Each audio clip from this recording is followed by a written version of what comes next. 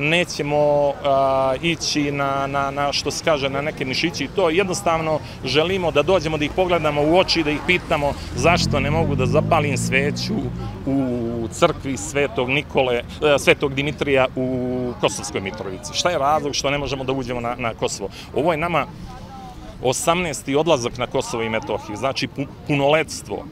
Da mi posle toliko kredita, toliko odlazaka na Kosovo i Metohiju, da su oni skeptični i da ne veruju u naše namere, na- u naše pozitivne namere.